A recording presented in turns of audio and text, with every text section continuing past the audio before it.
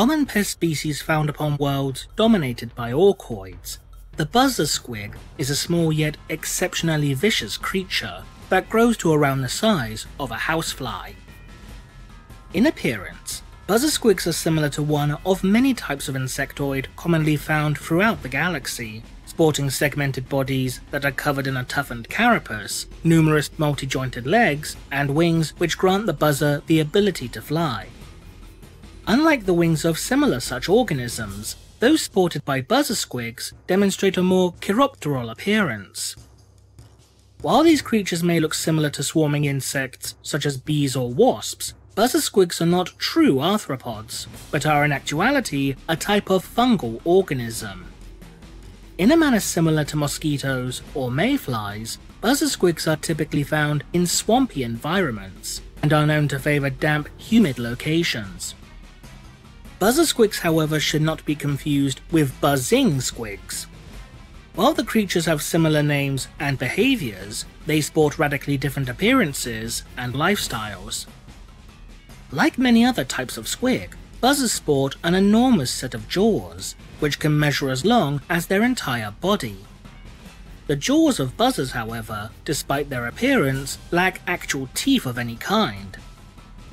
Instead, the jaws of the buzzer squig have evolved to develop a series of barbed bony plates analogous to fangs.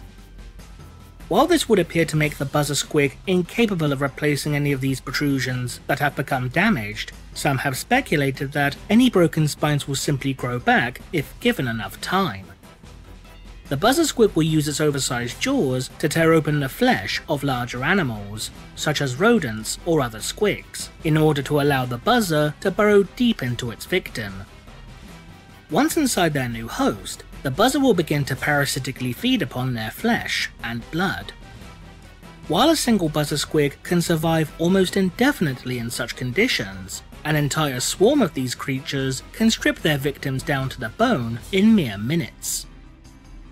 Because of how rapidly a buzzer swarm can devour a target, these creatures will frequently be weaponized by orkoids, particularly by feral ork tribes. The smaller types of greenskin known as Gretchin will construct clay pots that will gradually be filled to the brim with buzzers. Once the pot is full, it'll be sealed completely shut, save for a small number of air holes to allow the creatures to breathe.